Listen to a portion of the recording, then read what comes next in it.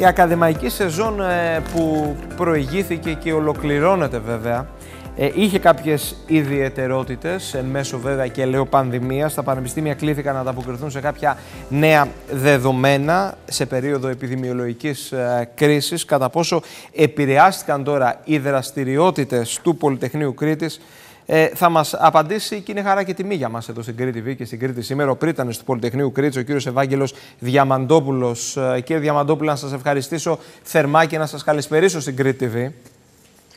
Σας ευχαριστώ εγώ, Παρ. Είναι χαρά μου να συνομιλώ μαζί σας. Ε, δεν ξέρω αν συμφωνείτε με τον πρόλογό μου. Μια ακαδημαϊκή σεζόν η οποία θα ολοκληρωθεί είχε ιδιαιτερότητες, είχε δυσκολίες για τα, για τα μέλη της εν μέσω πανδημίας και επιδημιολογικής ε, κρίσης πόσο επηρεάστηκαν οι δραστηριότητες, οι κινήσεις, οι πρωτοβουλίες του Πολυτεχνείου Κρήτης αυτή τη δύσκολη περίοδο; Έχετε απόλυτα δίκιο ότι όντως υπάρχουν δυσκολίες και σε ένα Πολυτεχνείο όπως είμαστε εμείς υπάρχουν πάρα πολλά εργαστήρια τα οποία εργαστήρια είναι ένα πάρα πολύ σημαντικό κομμάτι της εκπαιδευτικής διαδικασίας.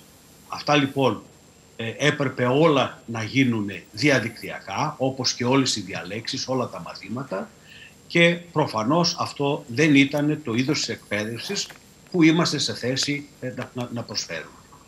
Ε, υπήρχε η εμπειρία του προηγουμένου εξαμήνου και πριν ένα χρόνο περίπου όταν ε, εμφανίστηκε η πανδημία και, και ε, όλα τα μαθήματά μας πήγαν σε μια διαδικτυακή μορφή. Παρόλα αυτά, παρόλα την εμπειρία που, που έχει αποκτηθεί, όλες τις προσπάθειες που κατέβαλαν το εκπαιδευτικό προσωπικό και οι φοιτητές μας, δεν μπορούμε να πούμε ότι είμαστε ευχαριστημένοι με το είδος της εκπαίδευσης που έχουν λάβει.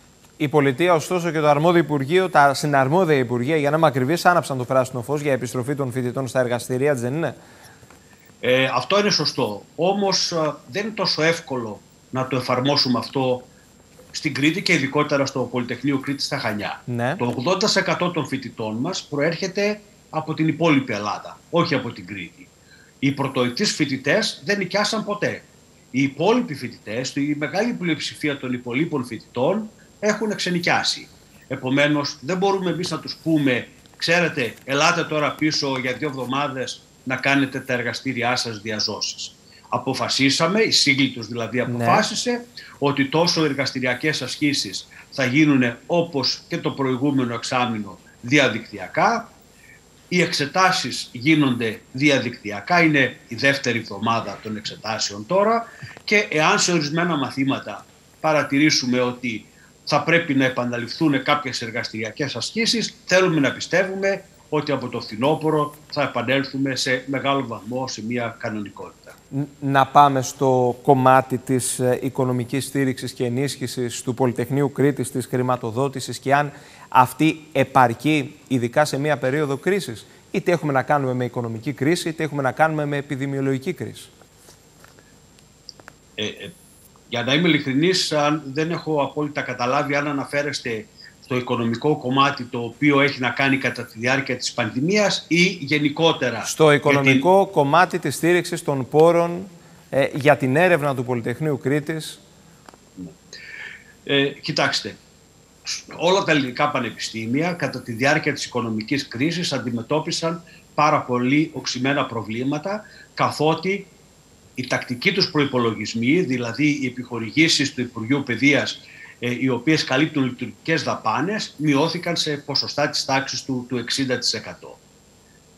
Ε, άρα λοιπόν έπρεπε όλα τα πανεπιστήμια να μπορέσουν να μειώσουν τις δαπάνες τους και αυτό οφείλουμε να το ομολογήσουμε δεν έγινε ε, χωρίς να, να, να επηρεαστεί, ε, να μην επηρεαστεί η εκπαιδευτική και ερευνητική διαδικασία.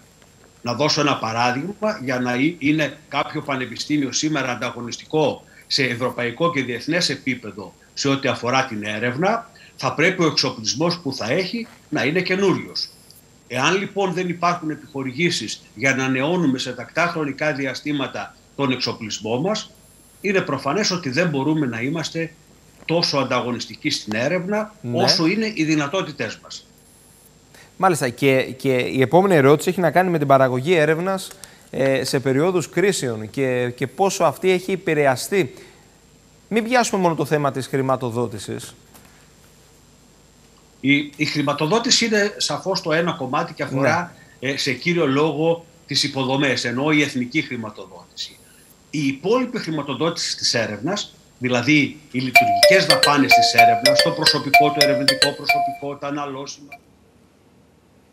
και ούτω καθεξής, αυτές προέρχονται μέσω ανταγωνιστικών προγραμμάτων, δηλαδή οι καθηγητές υποβάλλουν προτάσεις, αξιολογούνται, κάποιες από αυτές εγκρίνονται.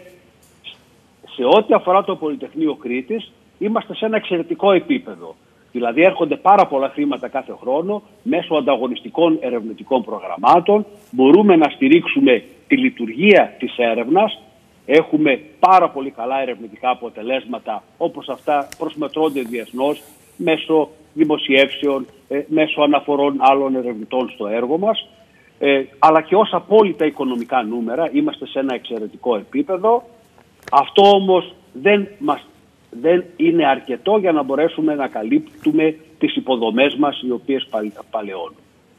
Η ατζέντα σας κύριε Βρήτανη για το επόμενο χρονικό διάστημα τι περιλαμβάνει, κάποιες κινήσεις εξωστρέφειας ε, του πανεπιστημιακού έργου ίσως; Κοιτάξτε, ε, ως το Πολυτεχνείο Κρήτης είναι ένα από τα μικρότερα ιδρύματα στην Ελλάδα, αλλά είναι ένα από τα δυναμικότερα. Στο, επόμενο χρονικό διάστημα υπάρχουν πάρα πολλές δράσεις εξωστρέφειας. Μία πάρα πολύ σημαντική δράση είναι η συμμετοχή μας σε ένα νέο ευρωπαϊκό θεσμό, το Ευρωπαϊκό Πανεπιστήμιο. Έχουν δημιουργηθεί 51 ευρωπαϊκά πανεπιστήμια. Σε κάθε ένα ευρωπαϊκό πανεπιστήμιο υπάρχουν ε, ανάλογα από 3 έως 8 ε, πανεπιστήμια. Εμείς συμμετέχουμε σε ένα από αυτά, τα ευρωπαϊκά πανεπιστήμια και να σας πω ότι στην Ελλάδα από τα 23 πανεπιστήμια συμμετέχουν μόνο τα 7. Ένα από τα 7 είναι και το Πολυτεχνείο Κρήτης. Θα στήσουμε λοιπόν διεθνή προγράμματα σπουδών σε συνεργασία με τους εταίρους μας στο πλαίσιο των Ευρωπαϊκών Πανεπιστημίων καθώς επίσης θα επεκτείνουμε και τις δράσεις μας, τις διεθνείς μας δράσεις και σε άλλα επίπεδα όπως είναι ε, διεθνή μεταπτυχιακά προγράμματα σπουδών. Μάλιστα, κύριε Πρίτανη, για ποιο λόγο ένας μαθητής υποψήφιος για εισαγωγή στην τριτοβάθμια εκπαίδευση να δώσει ψήφο εμπιστοσύνης, να βάλει κάποια σχολή, κάποιο τμήμα του Πολυτεχνείου Κρήτη στο μηχανογραφικό του; Νομίζω ότι, ότι ο πρώτος λόγος είναι ότι εδώ παρέχουμε πολύ ψηλής ποιότητας εκπαίδευση. Και αυτό είναι κάτι το οποίο θα πρέπει να μετρήσει. Έχουν επίσης, στο βαθμό που μπορούμε και παρακολουθούμε τους αποφύτους μας, μπορούμε να πούμε ότι επαγγελματικά πηγαίνουν από πολύ καλά έως εξαιρετικά, ακόμα και στην περίοδο της κρίσης. Υπάρχει ένα πρόβλημα βεβαίως στα Χανιά, είναι γνωστό και στην Κρήτη γενικότερα. Το επίπεδο ζωής είναι αρκετά ακριβό. Προς αυτό έχουμε κάνει αρκετά βήματα εδώ στο Πολυτεχνείο Κρήτης. Έχουμε ολοκληρώσει τις νέες φοιτητικές αιστείες.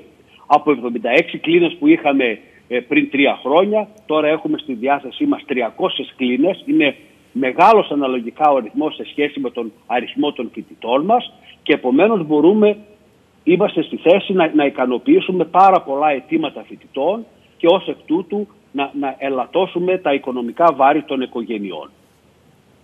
Μάλιστα. Κύριε Βρήτανη, θέλω να σας ευχαριστήσω θερμά για τη συζήτηση που είχαμε. Και, και εγώ σας ευχαριστώ. Ε, να είστε καλά και είναι πάντα χαρά μου να, να, να, να, Δική μας η τιμή, δική μας τιμή. Να είστε καλά.